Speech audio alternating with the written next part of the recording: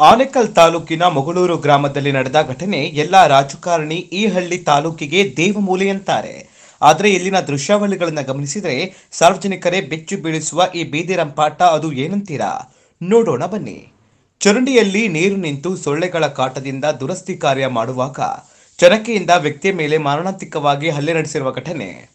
Sarjapura police station ವ್ಯಾಪ್ತಿಯ ಸಾಯಿ ಬ್ಲೌಸ್ Windows ಲೇಔಟ್ನಲ್ಲಿ ನಡೆದಿದೆ. ಸಂಪತ್ ಕುಮಾರ್ ಹಲ್ಲೆಗೊಳಗಾದ ವ್ಯಕ್ತಿ. ಗಿರೀಶ್ ಮತ್ತು ಸಂಜಯ್ ಕುಮಾರ್ ಹಲ್ಲೆ ಮಾಡಿದ ಆರೋಪಿಗಳು.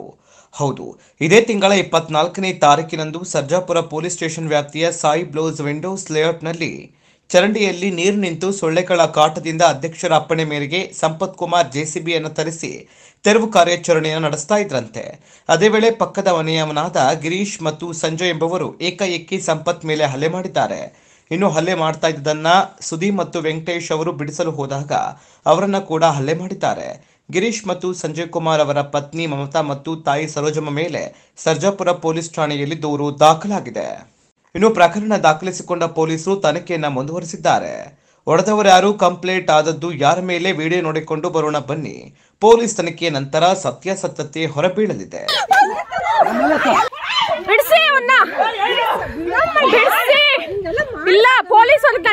ನಾನು ಹೇಳೇ ಹೇಳ್ತೀನಿ ಬಿಡಿಸಿ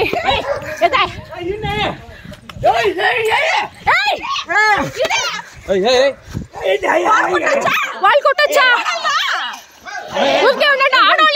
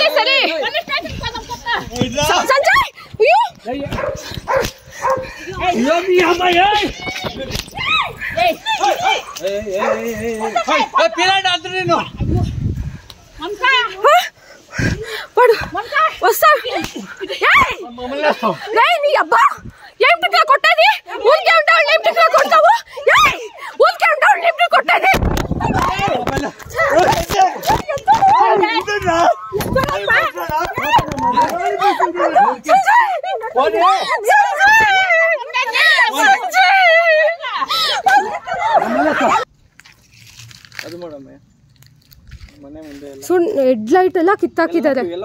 ಹೆಂಗ್ ಕಿತ್ತಾಕಿದ್ದಾರೆ ನೋಡಿ ಗಾಡಿನ.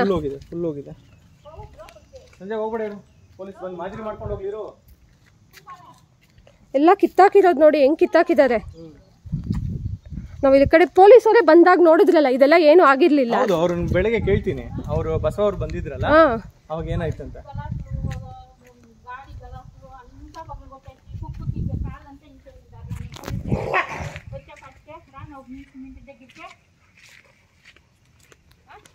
రావాల రావాల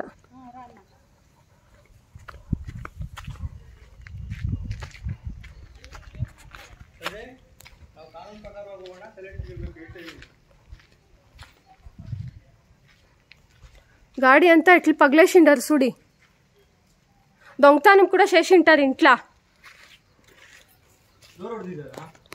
ಕಳ್ತನ ಕೂಡ ಮಾಡಿರ್ತಾರೆ ನನಗೆ ಗೊತ್ತಿದ್ದು ಮನೆ ಒಳಗಡೆ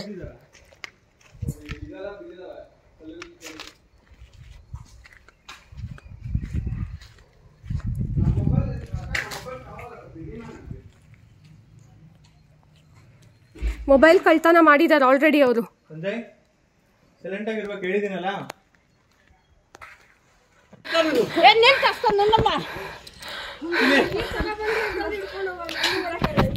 ಕೊಟ್ಟಕ್ಲಾ ವರದಿ Anand Kumar K ninety nine Kannada news channel Anekal.